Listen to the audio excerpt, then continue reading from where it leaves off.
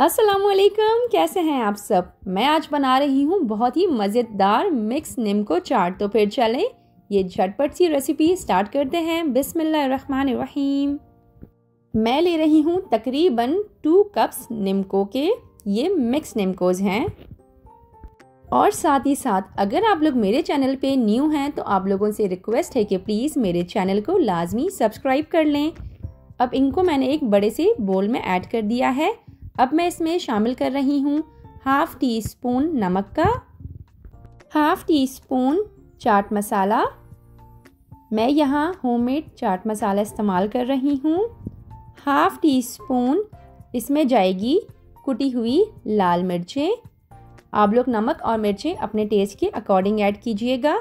अब मैं इन सारी चीज़ों को अच्छी तरह से मिक्स कर लूँगी।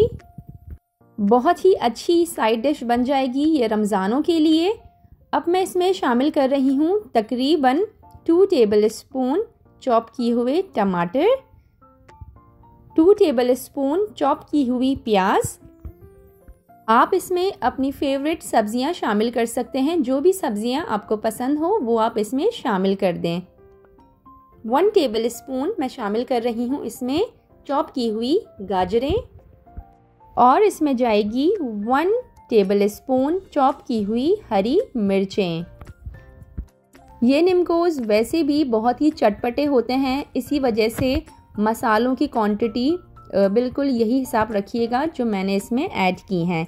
और अब मैं इसे मिक्स कर रही हूँ। अब मैं इसमें शामिल कर रही हूँ one tablespoon lemon juice आप लोग चाहें तो वन टेबल स्पून इसमें इमली का पल्प भी शामिल कर सकते हैं।